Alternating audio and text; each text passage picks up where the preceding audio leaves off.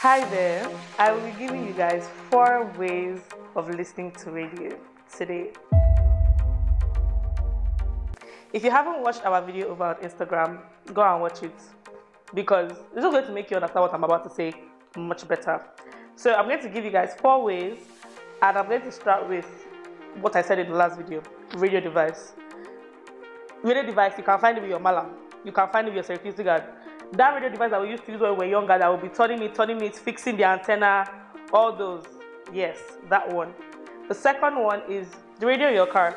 The Uber driver, supermarket, anywhere has a radio.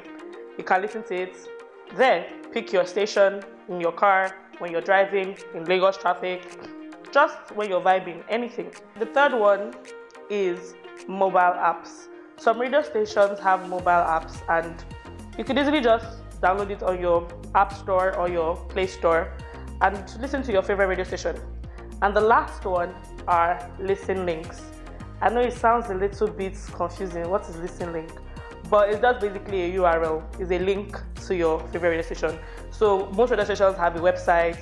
They have a link that sends you directly to your radio station and makes it so easy to listen to your favorite radio station. I hope you understand where I'm coming from and I hope you enjoyed this. Don't forget to like, comment, subscribe, and also share to your friends. And also follow us on all our social media platforms linked in the description below. Bye.